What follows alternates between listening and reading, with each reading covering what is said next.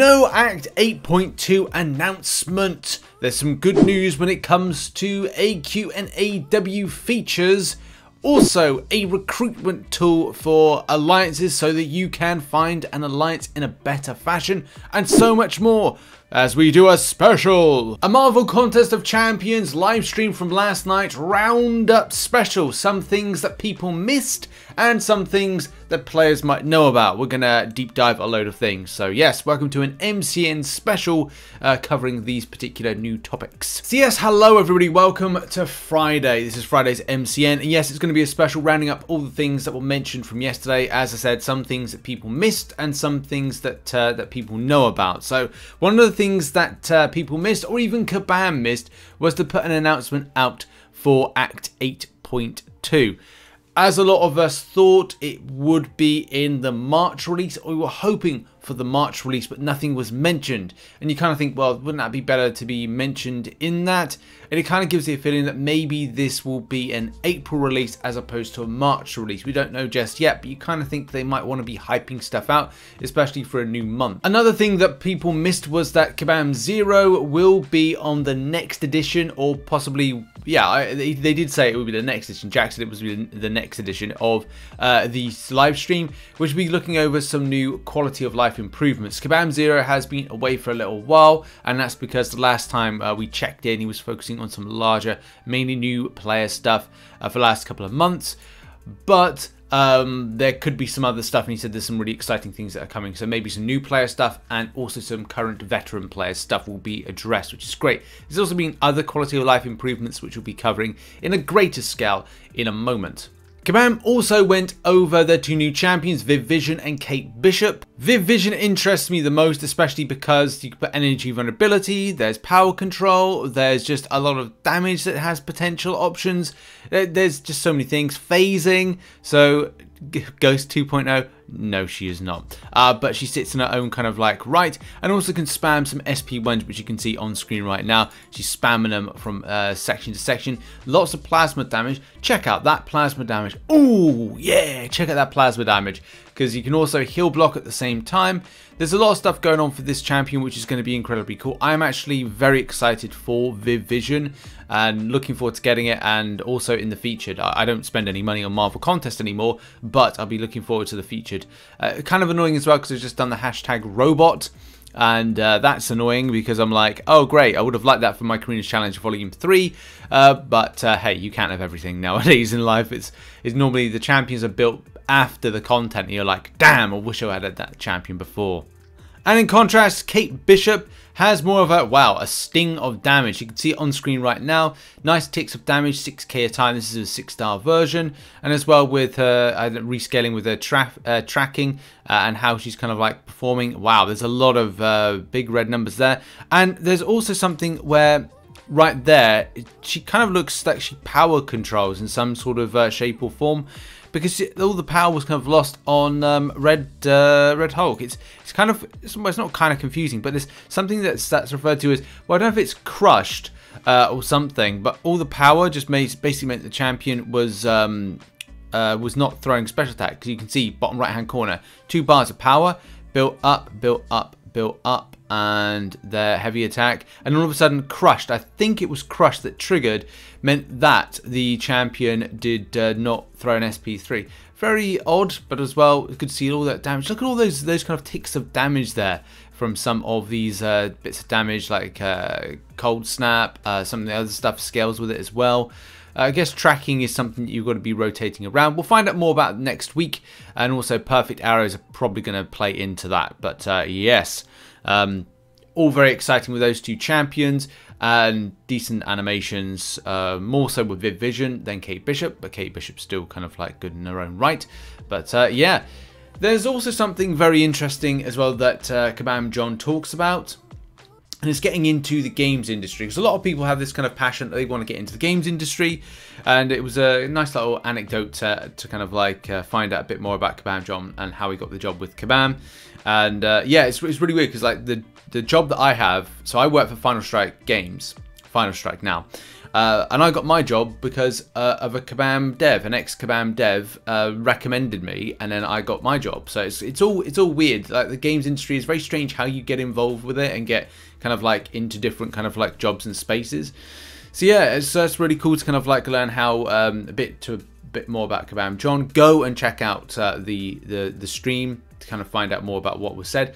But yeah, let's kind of figure out, uh, not figure out, let's go over some of the new features that come into AQ and AW. So we'll begin with AQ based features and this is pretty incredible in that we are now going to a four AQ day cycle.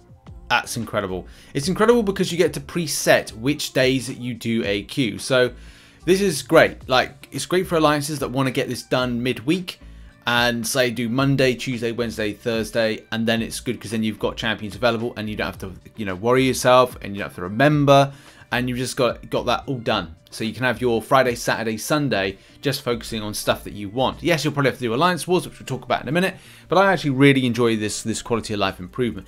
It's also great for, there's also going to be great things when it comes to officers, so it takes the stress out of this stuff, which is, you know, so important. Officers do a kind of like, um, oh, I can't remember, I was going to describe it really well then, but it's kind of like they, they basically do a, a lot for just like very little when it comes to like, um, you know, uh, recognition and stuff like that. Thankless job. That's it. I think that was it's a thankless job. Yes, it's a thankless job, and you should thank your officers more often. Uh, but yeah, um, this is really cool. Scoring, I've got my notes here. So scoring is being altered to make it align up with uh, with this new system because you're probably wondering, well, hang on, we're doing four instead of five. Doesn't that affect the scoring? Well, scoring is being aligned to kind of like deal with that one.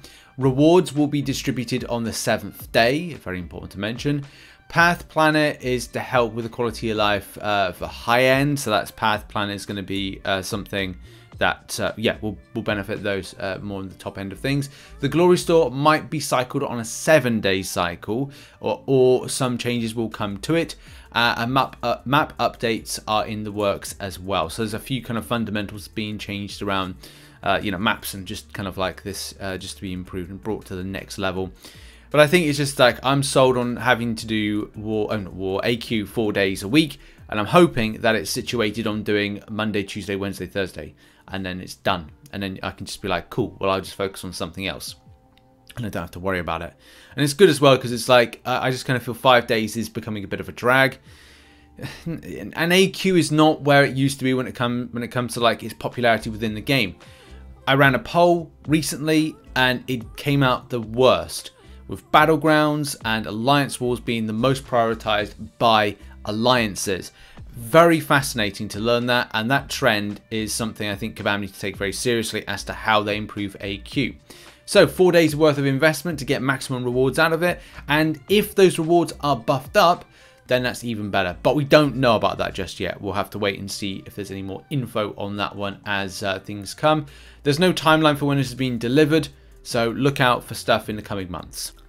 Okay, now let's go over the Alliance Wars features on the new thing they've introduced called Set and Forget. This again is all about reducing down the mental load for officers, but also streamlining it for you as a player to then play it. Uh, shout out to Mr. King for this little infographic. And yeah, in a nutshell, uh, there's some stuff here, but there's also some, some other stuff that was mentioned by Jax, which was define um, your defense, tactics, bans all in advance instead of each war. Attacking is now two days. You're able to define them for above, lower, and current tiers, and changes applied during war will carry over to the next war.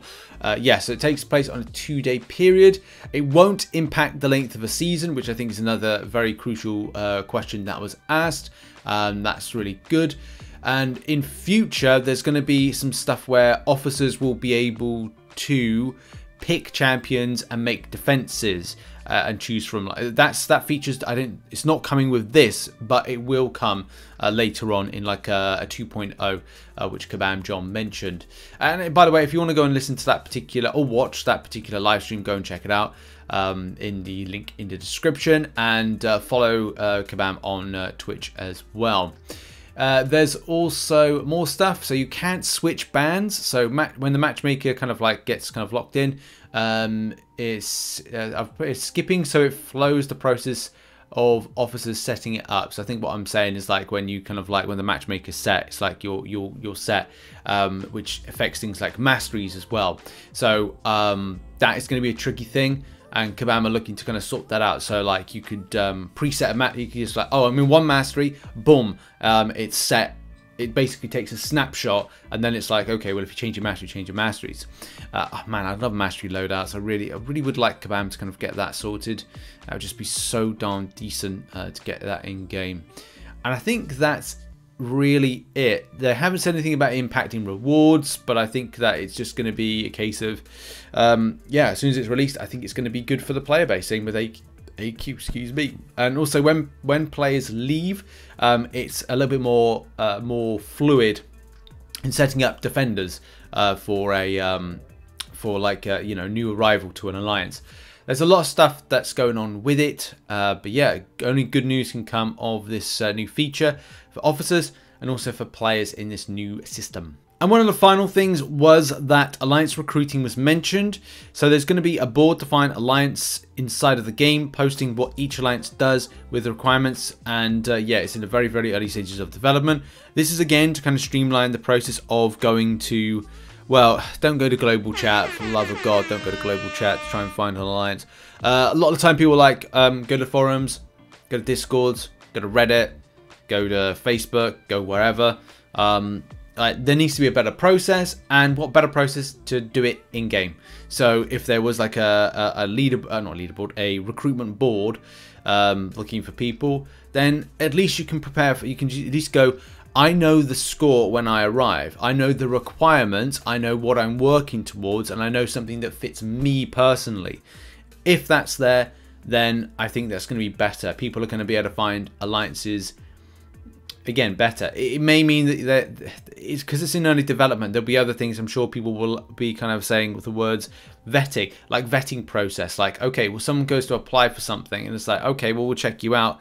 Um, have you handled this, this, this, and this? Yes, no, maybe. Bring them in, and they don't perform. I mean, that's the thing. Same thing whether you apply for a, apply for a job, or you're kind of, um, or you're a manager, and you've kind of like got people in to uh, to apply for the job and you're like okay you get the job but they turn out to be terrible like you don't know that like it's just a thing you have to get like, like, a wing and a prayer to kind of get them in the alliance first uh, to kind of like find out whether or not it's going to be the case but yeah I mean positive um, that we're getting this particular new feature coming now, one of the final things mentioned in the live stream was about Twitch drops. Now, I know that a lot of people within the community are still very rooted in YouTube being the place for Marvel Contest of Champions, which is a bit of a shame at times because you look at the state of like where games are on Twitch as to like popularity and it's sad to note that even like like Marvel Snap which is a brand new game has already just surpassed Marvel Contest of Champions when it comes to follower count and Marvel Contest of Champions has been on Twitch for a lot longer than Marvel Snap. And also, like, viewer count at the moment has uh, 2.2k viewers, where Marvel Contest of Champions just doesn't. It would be really cool to see a community grow through Twitch and twitch.tv because of what they can do with Twitch drops. And this is what Kabam Jax did say in, in it. And I know people will not be sold on, on Twitch, but it has features which YouTube doesn't, and especially with Twitch drops. Twitch drops will allow you to get a free crystal just by watching Marvel Contest of Champions based content. It's something they're developing and it's something that is going to come into it. So if you are interested in getting involved, then do follow channels not just myself, but it massively will appreciate if you could just follow.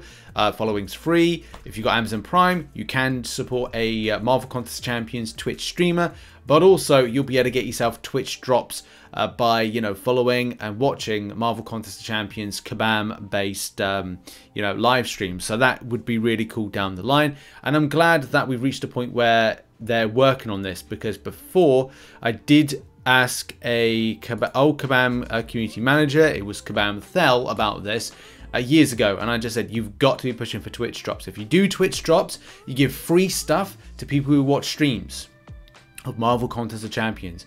It just made sense to have that extra bit of interactivity, and also it's handy for marketing because then they can go and speak to other streamers, get bigger numbers, uh, of people and kind of like get new communities to come to our community at the same time. And that would be really cool because we want this game to continue on kind of like, uh, you know, going uh, for as long as possible. We've invested all this time into it. Why wouldn't we want to see it uh, go for a, a, little bit longer? But in any case, that has been it. That has been the uh, the special, this Marvel Contest of Champions news special, going over some of the new features coming to the game. There wasn't, I would have gone over the side quest stuff, but there hasn't been a huge amount to, to kind of like talk about except for what I've already covered. And we've got tons, tons of stuff to cover uh, for the new side quest. Also, I have got a side quest totals video coming today. I have just updated the side side quest guide spreadsheet, which now has like a million tabs, but it's got a million more tabs to go. We've got uh, component farming totals, store best buys, spend breakdowns, best champions for objectives, rewards breaks breakdowns. Uh, I'm sure we'll have a few more things. But yeah, I'm putting a lot of effort into this particular guide this month, all before it releases on Wednesday. God. Right, in any case, that's been it. That's been the video. Thank you very much to everybody that supports the channel as a YouTube member and as a Patreon who are on screen right now. Much love. And uh, also those that support on twitch.tv slash richtheman live. Check out some other content located on screen and I'll see you all soon. Much love. Bye-bye.